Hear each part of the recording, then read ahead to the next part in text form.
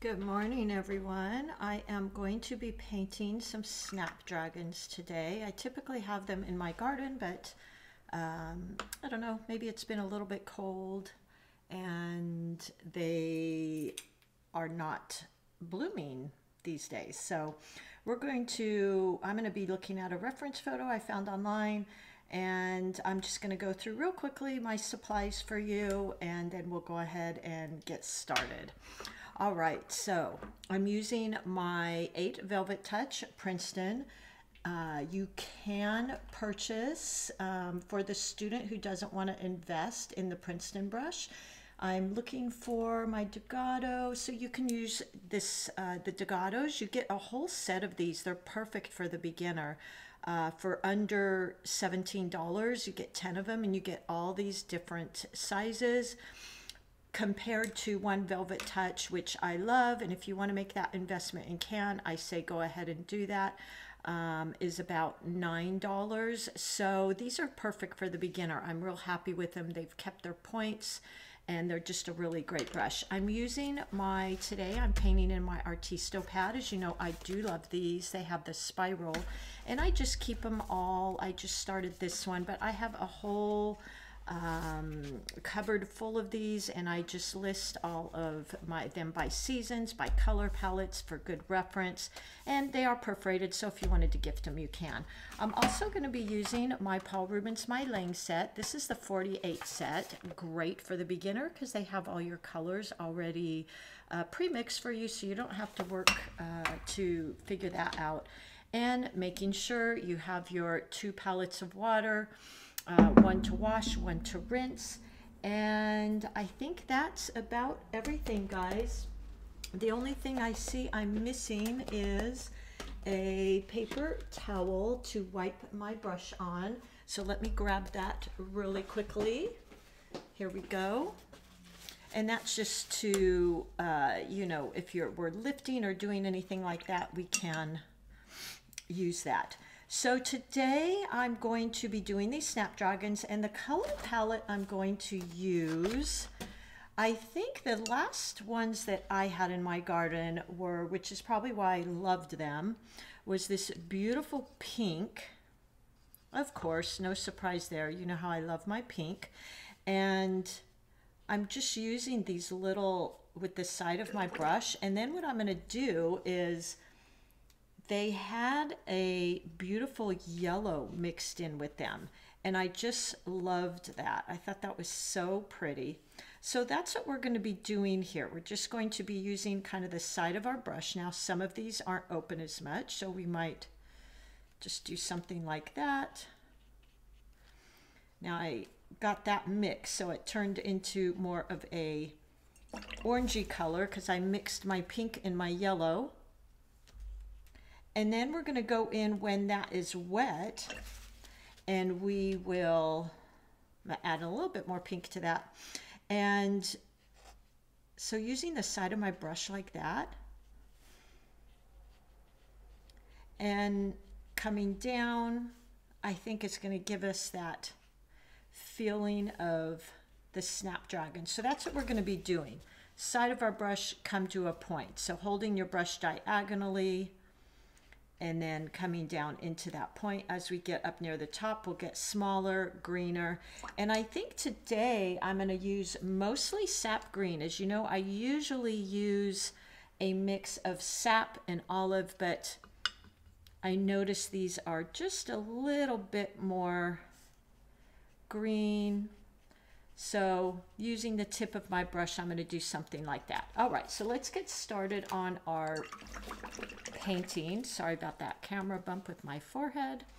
Um, okay, so I'm going to go ahead again and I'm going to paint the actual florals first and then we'll go in with that green. So using a medium value, just meaning about 50 paint, 50 water, and then you can tap off to get rid of a little bit of that water or tap on your paper towel. And I'm using kind of a, almost an L shape in a way. So side of my brush, something like that. Because I feel like that's, for me, what I see in a snapdragon, so unusual. And we're gonna bring them kind of like that. And then I'm gonna wash and rinse my brush, make sure that paint is out and grab a little bit of my cad yellow, water that down just a tiny bit. And we'll go in and add because my last snapdragons I had had a lot of yellow and pink which I thought was so pretty together. So just doing something like that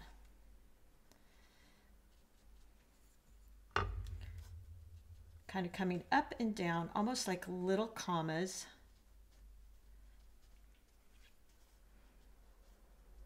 Don't want to go too far down because they have those beautiful long stalks. And then I don't want to wait too long to go into this with the um, stem either. So as they get up near the top, they have less of a bloom. So let's go ahead and go in with that beautiful sap green and we're just going to create our little stems here while this is wet so we get that beautiful blending that watercolors is known for.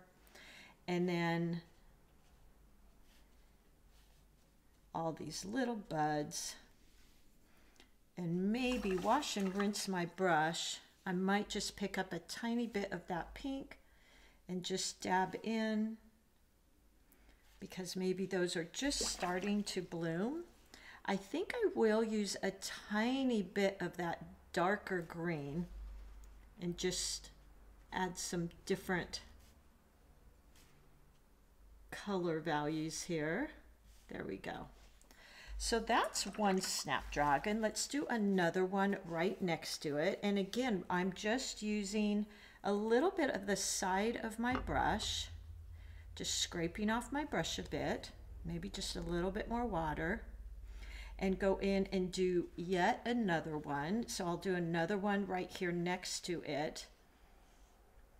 Side of my brush, down, side of my brush down. They kind of have some little frills there.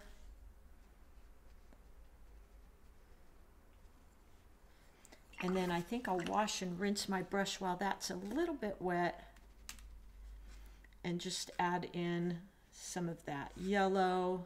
I just thought that combination was so pretty. Now, if you mix the orange and the green, the uh, or pink and the, the yellow too much, you're going to get that or more of that orangey color. So, and as we move down the stalk, these get bigger.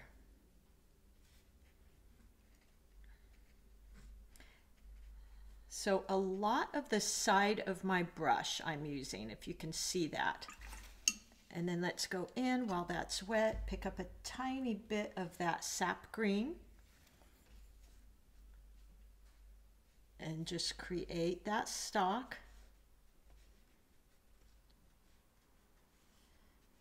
And then coming out here, just dabbing to create the little blossoms on top. There we go. And because I always work in threes, I think I'll create one more in the background here, but I'm gonna use a little bit more water so it looks like it's a little bit more in the background.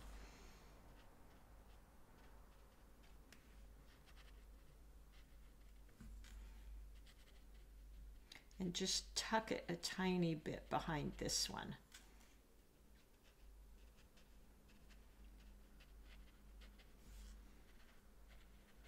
Just like that.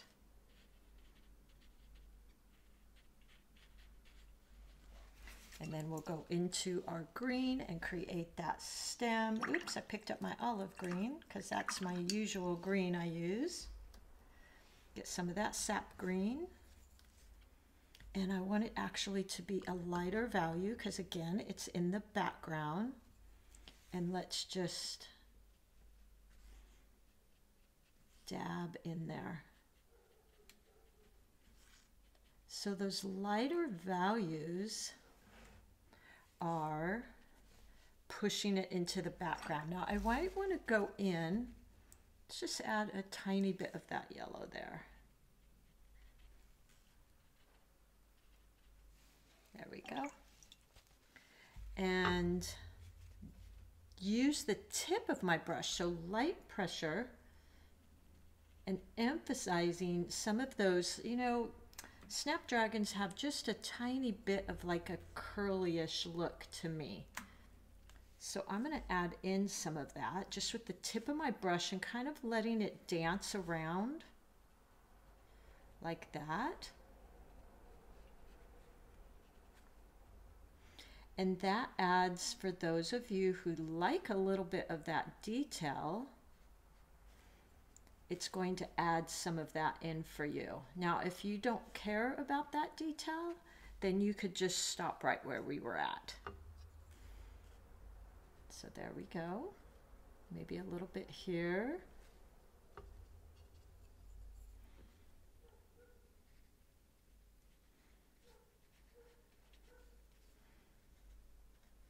just outlining. You could also do that outline in pen if you wanted. And then I might just add a few darker values, meaning more pigment, less water, to some of these. And letting that blend in. Something like that.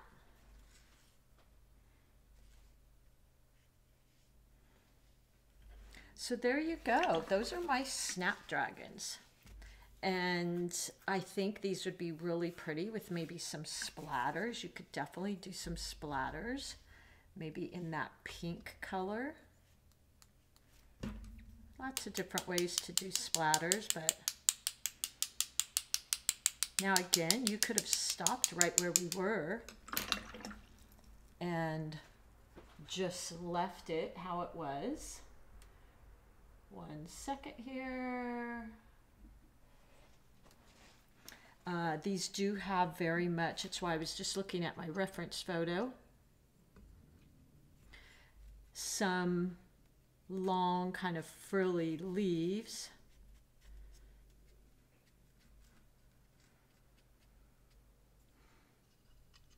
A little darker value. And I'm just using the tip of my brush here. Very light pressure and I'm holding close to the end of the ferrule so I have a little bit more control. Sorry for that camera shake. And there you go. I think that's awfully fun. You could add in maybe some darker shades in there just for some interest. So I used that olive green and just added in. Now, if you really wanted to get some darker, you could always go in with that and pull out in front with darker values, that's always going to pull things into the front. So I kind of went over what I drew on there, which is fine. But do you see how that really popped some of those out? Really beautifully. And made them feel like they were out front and these were a little bit in the background. I think I might go in with some of that yellow and just dab in here and there. Just to get a little bit more. Now I'm just using a wet brush, damp brush, and doing that lifting. And this is that glazing I talk about a lot, where I'm going over things and adding layers and pulling out some things. Pulling out meaning I'm giving them a darker value and it just makes them pop. So here we could also do that. So these dark pieces right away, just using very light pressure with my brush. And immediately it gives this depth. So that's the value of working in these beautiful layers. So right now, because I went in with some of the darker pieces, this really faded into the background, which was what I was trying to do. All right, so there you go. I used a lot of the side of my brush. A Snapdragon to me kind of has this almost upside down L shape and it has a lot of greenery up near the top. So that's how I tried to just give that look of a Snapdragon. And that's how my mind works is just to give that feel of a snapdragon, not to do it exact. All right, everybody, I hope you give that a try. It was a lot of fun and um, use that Quin Magenta and your Cad Yellows. And I used an olive green and a sap green and my number eight Princeton brush or this wonderful Degado set, which I still love still using here five months later. And you get a whole set of those. So i'll i'll list those for you. And um, i think that's it. All right. Happy painting everybody. Make sure and check out um, my new website. I've got a lot of freebie paintings on there and drawings for you. And happy painting everyone. Most of all have fun